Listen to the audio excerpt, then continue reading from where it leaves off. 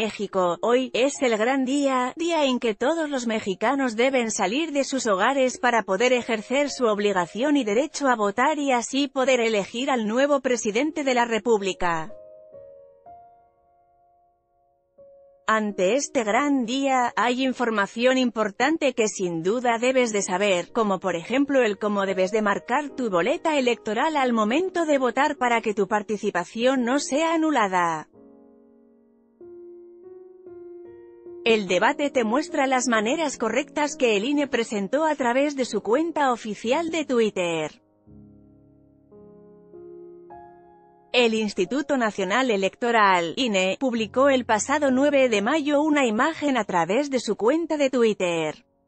Para que tu voto sea válido debes de, voto para partido político, marcar en un cuadro con emblema de un partido voto para candidatura en coalición, marca dos o más cuadros con emblemas de partidos coaligados.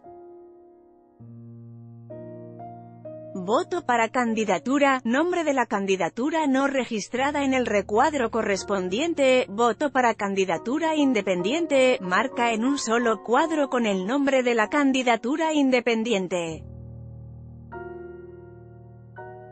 Tu voto será válido si pones de manera clara el apodo de algún candidato.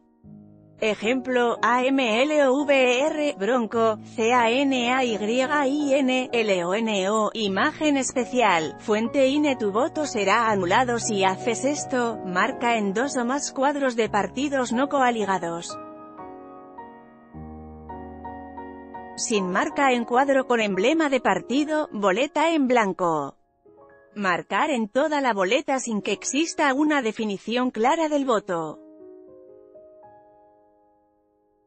Marca en un cuadro de una candidatura independiente y en cuadro de uno o más partidos políticos. Imagen especial.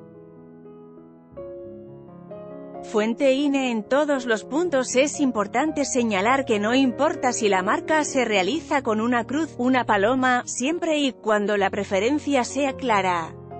La marca puede ser hecha con el lápiz entregado por el INE, o bien, con cualquier pluma o plumón que lleve el elector. En esta nota, elecciones INE boleta electoral.